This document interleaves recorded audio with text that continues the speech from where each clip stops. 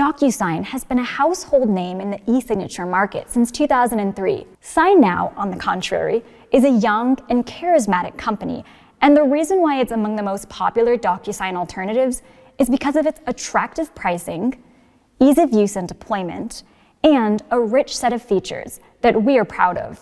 With over 28 million users globally, SignNow may not be as widely known as DocuSign yet, but the current user rating of 4.6 out of 5 against DocuSign's 4.5 on G2 tells us we're moving in the right direction. So, if you're looking to fully digitize your document workflows and streamline business processes, choosing SignNow might be considered your first step towards that goal.